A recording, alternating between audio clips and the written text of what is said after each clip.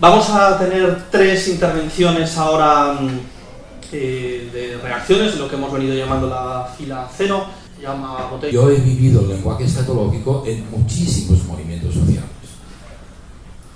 Claramente como movimiento escatológico y como lenguaje escatológico. En el movimiento de la anti-OTAN, en el 86, se trataba del movimiento de la paz. Y fracasamos, pero bueno, en el movimiento de la objeción de conciencia, en el primer movimiento claro de objetores de conciencia, en el movimiento en el 94 de 50 años bastan en contra del Fondo Monetario y Banco Mundial. Eh, en el movimiento clarísimamente escatológico de los zapatistas y de Marcos, el lenguaje poético, lírico, en definitiva revolucionario, utópico y de futuro, pero que con pocas concreciones concretas, ¿no? En el movimiento de 07 y acampando aquí al lado, en la diagonal. Todo eso han sido lenguajes escatológicos que yo personalmente y muchos de los que estamos aquí los hemos vivido poéticamente, líricamente, de transformación social, etc. y de creación de conciencia.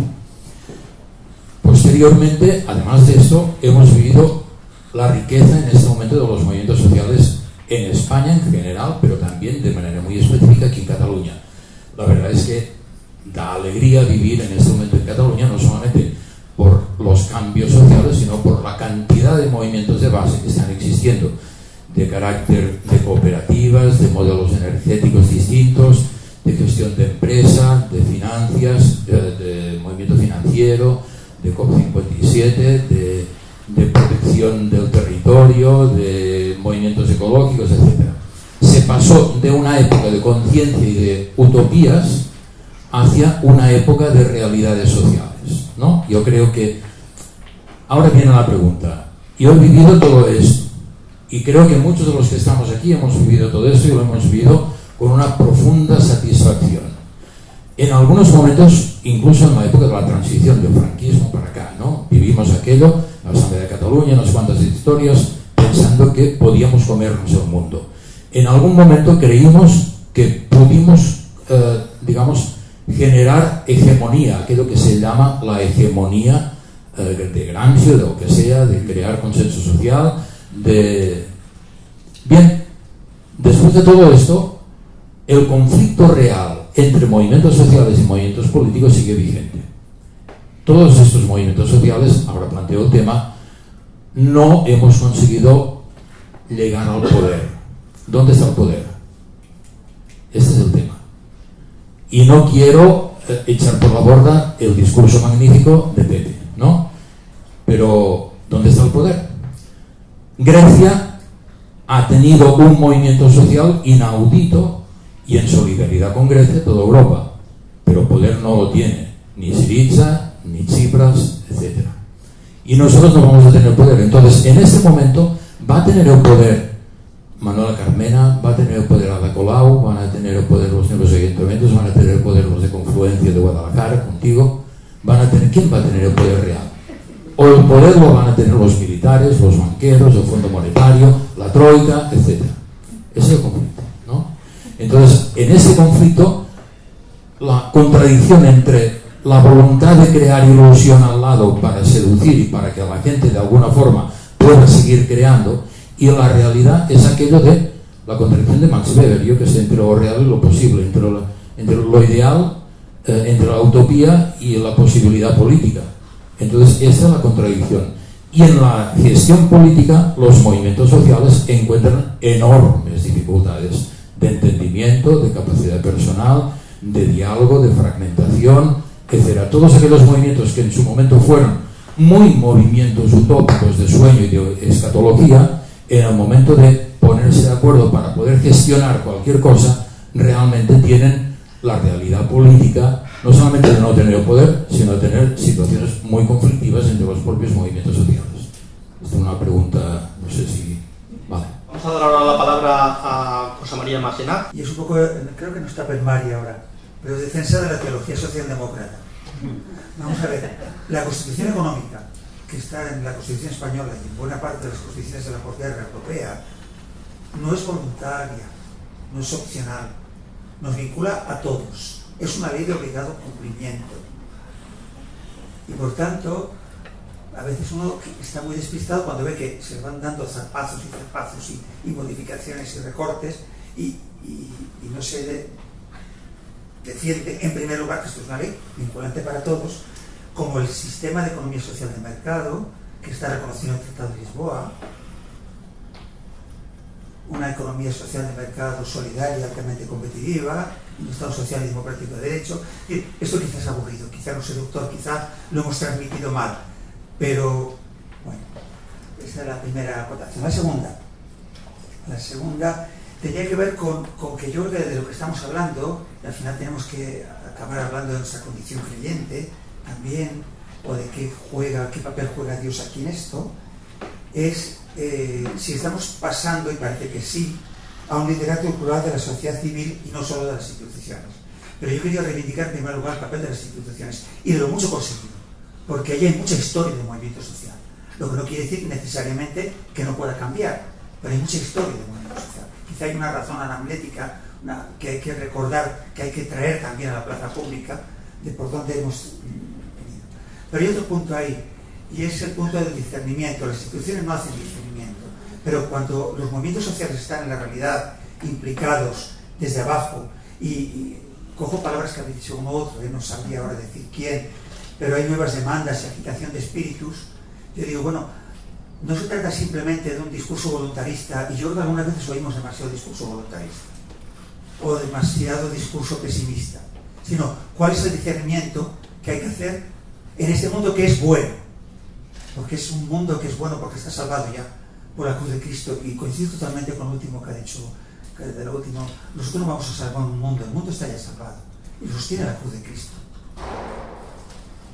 Y entonces ahí tenemos que discernir porque no va a ser que se nos cuelen los malos espíritus y, a través de, de, buenas intenciones los movimientos nos lleven a donde no queremos, ¿verdad? Porque el discernimiento es lo contrario del miedo. Claro que el capitalismo bueno, no sé si todo el capitalismo, pero por lo menos una gran parte de ese capitalismo financiero, desregulado, idolátrico en el fondo, eh, quiere meternos miedo. Quiere meternos miedo para qué? Para que no podamos vivir. Bueno, y lo tercero, pues esto va a sorprender todavía más, y es que hermano Benito, quizá también era hermano, no lo sé, eh, Papa Ratzinger, pues en el, número 24 de Spesalvi, yo creo que tiene un, las bases podría poner de la de lo que podría ser esta teología de, la etapa postsocial y post y cristiana ¿Por qué? Porque yo creo que aquí nos tenemos que plantear la pregunta en el fondo que hemos venido a resolver estos días aquí. ¿Cómo interviene Dios? ¿Y cómo interviene Dios en un cambio del mundo que nosotros como cristianos, en mi aportación, creo que no podemos hacer? Coincido mucho con, con algunas de las cosas que se han dicho. Porque resulta, y dice, y acabo ya con esto, que las estructuras sociales, a diferencia del progreso técnico, del progreso científico, que sí es acumulable, las estructuras sociales se recrean continuamente y se recrean por interacción de los agentes sociales. Y ahí entra en juego la libertad. Muchas de las cosas que decía Neus pues tienen que ver con esto. ¿no? Y entonces el papel de los cristianos posiblemente sea solo el de hacer algo como una diaconía social o de acompañamiento de estos movimientos, y aquí vuelve el discernimiento, para que en el ejercicio de la libertad nos vayamos orientando bien. El papel del cristianismo sería hacer de brújula, de guía, y permitidme para acabar ya, yo no estaba, algunos de los que estáis aquí quizás estabais, pero oí contar de un debate en medios de los años 60, en la Universidad de Barcelona, estaban Alfonso Álvarez Volado, y para descanse, y, y Manuel Sacristán también para descanse, y se le contar a Alfonso y a José Antonio González Casanova, hablaban de la revolución, había que acelerar la revolución. La pregunta que sale en el debate, ¿y el cristianismo para qué sirve? Y se quedan callados. Pero entonces una voz del público, creo que José Antonio González Casanova, que es el que me lo ha contado, para que no decaiga. A lo mejor este para que no decaiga nuestro, con teología narrativa, con, con con cercanía, con es bueno, lo que podemos apuntar nosotros. Muchas gracias. Teníamos una tercera intervención prevista de Monse Santolino. Eh, a ver, estaba de acuerdo con absolutamente todo lo que, lo que se ha hecho y por supuesto sintiéndome impresionada por todas estas cosas, esta gente tan importante que ha hecho todas estas cosas tan importantes. Una cosa se le diría a Yauma, ¿no? decía, fracasamos, fracasamos. Eh, mentira, no fracasamos. O sea, en la parte escatológica no fracasamos. En la parte política sí. En la parte escatológica la no parte política fracasamos. más en todo caso me he explicado mal, ¿eh? Pero con- compartiendo- Son ríos que confluyen, Exacto. que llega un momento en que esperamos que lleguen a confluir más. ¿no? Exacto, pero también vinculándolo un poco con lo que decía ahora, ¿no? Eh, sí que si los nuevos movimientos sociales o los más actuales eh, tienen, tienen algo, aparte de esa parte escatológica, profética, es que de alguna manera juntan las dos cosas. O sea, yo creo que para mí los, los, los más significativos eh, ahora mismo y creo que los más estratégicos han sido primero la PA y, y- y recientemente la lucha de Movistar, precisamente en la onda sindical que comentabas tú también, ¿no? Entonces, creo que ahí eh, se junta la parte más escatológica, más profética, con una parte eh, profundamente política, acción política, ¿no? Entonces, si, si teníamos que, creo que, que, por muchas de las cosas que, habéis dicho, eh, para mí son, son, bueno, para mí, os, os pregunto, sobre todo también os, os- que os, saber vuestra opinión, ¿no? En todas esas cosas que, que juntan más la parte de cambio de relato, de cambio de relato, pero de- de- también de, de mantener eh, eso tan profundamente cristiano, de mantener eh, la paciencia, de mantener la perseverancia, de mantener la posibilidad de que sí va a ser posible la resistencia eh, y, y la sensación de que si no es ahora ya será, eso eh, si algo también, como ha explicado el compañero, se daba en el, en el 15M, mm, también te- estos momentos tienen algo de profundamente impaciente, individualista, clase mediero, que yo creo que ahí eh, tanto, la, tanto esos, esas, esas dos ondas de la pared Movistar marcan un poco una tendencia un poco distinta. Eh, y creo que, bueno, os pregunto que si, si, si, os parece, ¿no? Esto por un lado a nivel de discurso y, y por otro lado a nivel profundamente eh, político y profundamente de opción preferencial por los pobres. O sea, en el caso de, de Movistar, ayer, ayer mismo estaba con un compañero peruano que estaba haciendo eh, un discurso de defensa de una- unas clases oprimidas pero transnacionales como emigrante, como trabajador precario, como, como eh, mm, luchando contra, contra Movistar, pero entiendo eh, Movistar como ese poder globalizado transnacional que, que- es como eh, e- ese, por ahí va, va, por una parte está con ese empoderamiento de las clases oprimidas, que en los dos casos creo que tanto la PA como, como la lucha de Movistar se están manifestando o se están, se están mm, definiendo de otra manera y están, y están sobre todo planteándonos eso, ¿no? Cómo acompañamos a las clases más empobrecidas, cómo hacemos que los movimientos sociales vuelvan a acompañar a las clases empobrecidas, porque, los barrios obreros eh, se sigue votando la plataforma por Cataluña. Ahora estamos en un momento, ya no, estamos en un momento afortunadamente de cambio de relato, pero si, estas nuevas políticas, este, este asalto a la institución que va a ser eh, completamente perseguido y atacado y lo van a pasar mal para poder sacar adelante según, según qué políticas, eh, no conseguimos cambios reales y efectivos, eh, bueno, la amenaza de que, de que las tensiones conservadoras vuelvan son, son importantes. ¿no? Entonces, como eh, niña de barrio, de barrio obrero, que la parroquia me acompañó en un proceso determinado, yo eso no veo ahora en los barrios obreros, no veo el acompañamiento del cambio de discurso, no veo el acompañamiento de las clases empobrecidas para que realmente ese empoderamiento, más allá, ya os digo, por ejemplo, de cosas como, de luchas como la de la paz, sean reales por un lado y por otro lado el tema de la lucha transnacional, de la lucha con la migración y de, de lo que decía también, también Jauma y lo que decías tú, o sea, al final es Monetario Internacional, entonces esos dos frentes de acompañamiento de las clases oprimidas, tanto en los barrios como a nivel internacional, ese nuevo internacionalismo, eh, creo que son los, los dos frentes un poco en los cuales eh, se- eh, tanto los movimientos sociales, tanto a nivel escatológico como a nivel político, son como los dos grandes retos, ¿no? Entonces no sé si vosotros ahí, eh, bueno, pues eh, si, si- si veis un poco que, que- que realmente el reto está ahí para poder cambiar a nivel local y a nivel, y a nivel transnacional, ¿no? Muchas gracias, Monse. Hace 100 años estaba naciendo la, la revolución comunista y ha pasado. ¿Ha sido inútil? ¿Qué ha aportado a la humanidad? Y hace 200 años, hace 200 años caía Napoleón, hace estos días lo celebrábamos, o lo celebraban, con la Revolución Francesa. Y esta revolución que hace 200 años parecía que había sido dominada por, por la derecha de siempre, ¿qué ha aportado a la humanidad?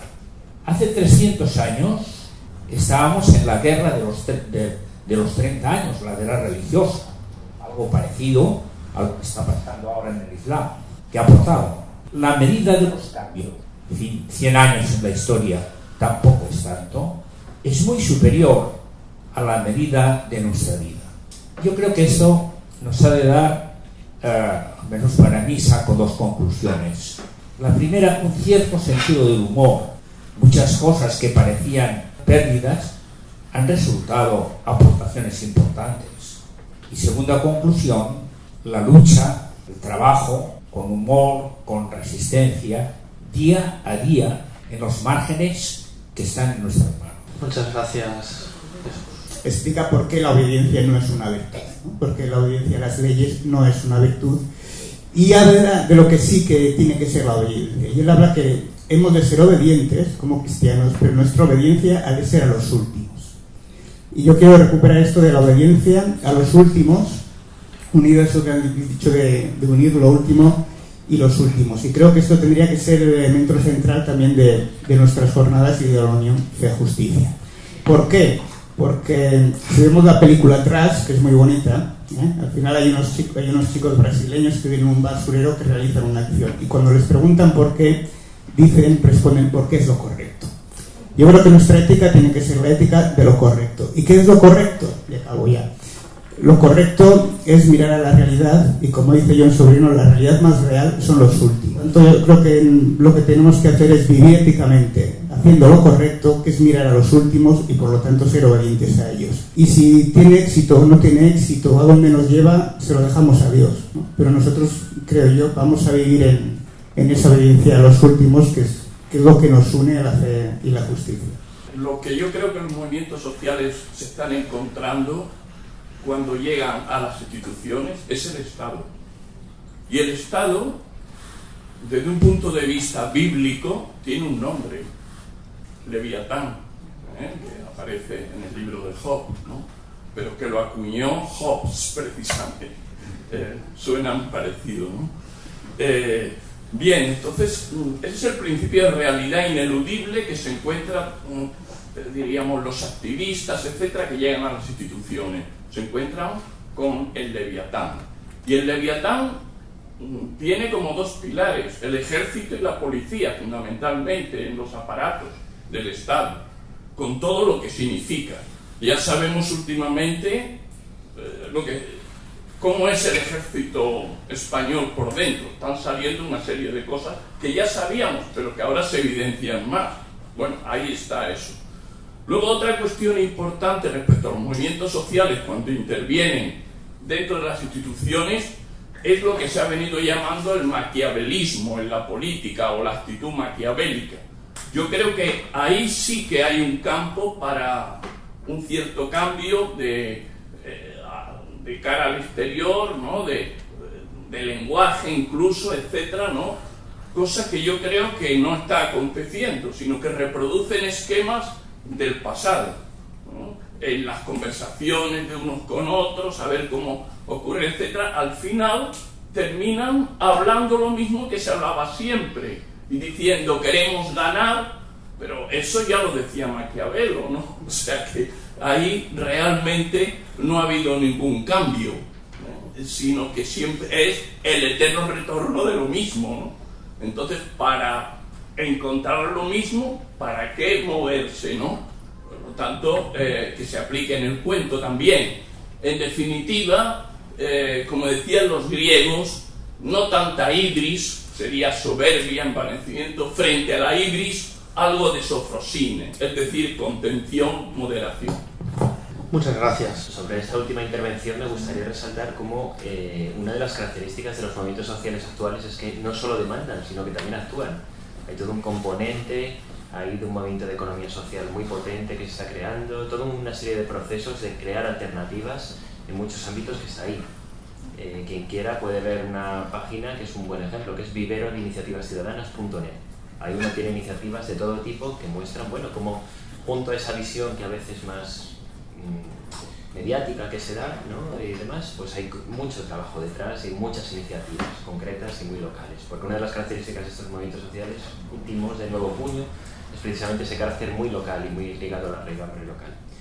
Segundo, de lo que comentabas, la experiencia de Movistar que citabas pues me parece interesante dentro de esa, eh, cuando hablaba antes del, del mundo del trabajo y de la ausencia de, cómo intentar articular un ejemplo de sindicalismo social al uso que escapa a las lógicas fordistas de los centros de trabajo ¿no? y que agrupaba autónomos y demás. ¿no? Pues hacen falta muchas experiencias de ese tipo y hace falta muchas lógicas de autoorganización ¿no? para construir nuevos sujetos políticos centrados en el mundo del trabajo. O sea que en ese sentido estoy muy de acuerdo contigo. La tercera idea, me gustaba mucho la intervención de, Pepe Laguna, jamás se me habría pensado pensar en esos términos de la escatología y la política, pero, esos, pero introduciría un poco también vinculado con lo que algunas de las reflexiones que se han hecho sobre el cristianismo, una categoría más, pero no lo voy a hablar en esos términos porque no soy teólogo y, eso me suena y tal, lo llevaré a, cómo lo presenta eh, Rafael Díaz Salazar, que es la distinción entre prepolítico, político y metapolítico. O sea, si la política es la acción concreta, es embarrarse, es mancharse las manos, y la metapolítica estaría cercana a esa escatología, a ese horizonte último, utopía, que invita a moverse, tenemos otro ámbito que es el que ha salido mmm, colateralmente y el cual creo también que el cristianismo puede aportar mucho, que es el ámbito de lo prepolítico como espacio fecundo donde se construye todo un imaginario de valores contrahegemónico que pone a esos excluidos en, la, en el centro, que pone a los últimos en el centro y demás. ¿no? Entonces resaltar esa idea de lo prepolítico, porque si estamos viviendo una crisis de la política, creo que tenemos todavía más crisis de la prepolítica, de espacios de socialización en imaginarios de valores y, y, y donde bueno, pues se haga, y eso que la cosa ha mejorado en los últimos años, ¿no? pero donde, donde se plasmen espacios, eso, donde socializarse en una dimensión relacional diferente, ¿vale? donde se requiere un comunitarismo diferente respecto a esos elementos.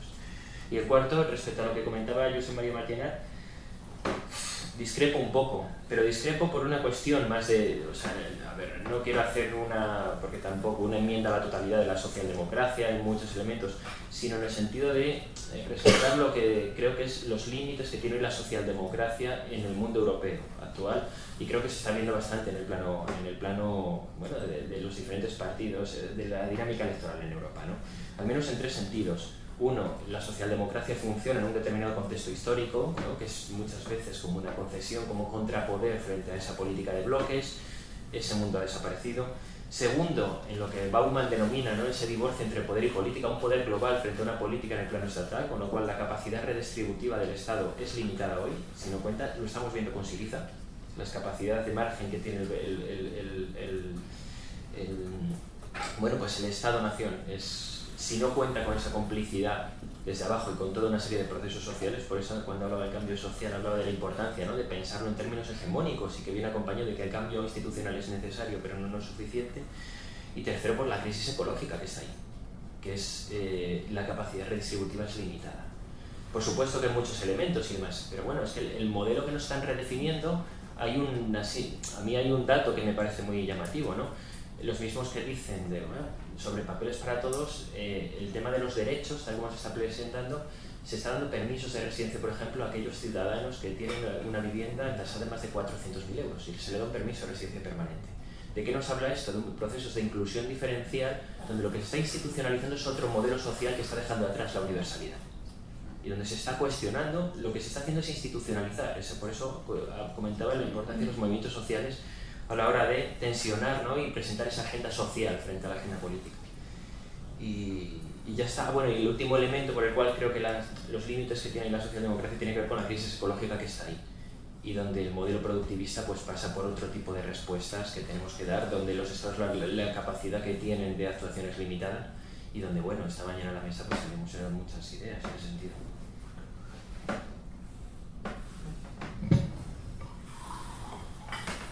Como podemos decir lo que queramos, ha dicho. No, es reflexionar en voz alta. Y yo no sé si al, eh, a Jesús le hubieran preguntado en su momento qué, qué, había que hacer, qué acciones políticas. Le damos, pagamos al César, no pagamos al César. Los hijos del ceredeo y ahora ya va a venir el reino de Dios, ahora o viene después. Eh, entonces, no sé qué diría. Entonces, lo que dice son cosas extrañas Dice que sabéis que los gobernantes eh, oprimen al pueblo. No ha de ser así entre vosotros. Quien quiera ser eh, vuestro gobernado, que sea vuestro servidor. Entonces, claro, el, lo del servicio, lo de ponerse la toalla, lo de es una lógica eh, que no es, es una lógica de cambio que no, no sé si es político o no es político, pero en fin, eso me genera un problema. Yo lo dejo ahí. Luego, claro, tenemos también la cuestión del grano de mostaza, que es que nosotros eh, somos una minoría con una historia eh, compleja, que nosotros creemos en un crucificado. Nosotros, claro, lo queremos ya que el grano de mostaza, después de tanto tiempo con el grano de mostaza, dice, a ver si ya es un árbol donde puedan anidar todos los pájaros. Y nos resulta muy complicado el tragar con el, la profecía de Jesús, esa cuando dice, eh, los pobres los tendréis siempre entre vosotros. Y eso eh, para mí es una de las profecías más terribles que hay en el Evangelio. Lo que pasa es que el, el, es decir eso es decir que el hecho mayor del sufrimiento os va a acompañar toda vuestra vida. Entonces nos revelamos, porque no estamos hechos para eso. Pero con eso, ¿cómo gestionamos? Pero entonces, y ya termino con otra cosa. Son preguntas que yo me hago, ¿eh? O sea, no, no es por... Tiene que ver con que nosotros ya estamos viviendo otro mundo posible. Es verdad. Es decir, hay realidades muy pequeñas, muy cotidianas, hay maneras de consumir, maneras de relacionarnos, eh, maneras de vivir comunitariamente que anticipan el reino de Dios ya aquí, ahora para nosotros. Y todos y todas que estamos aquí estamos disfrutando de eso.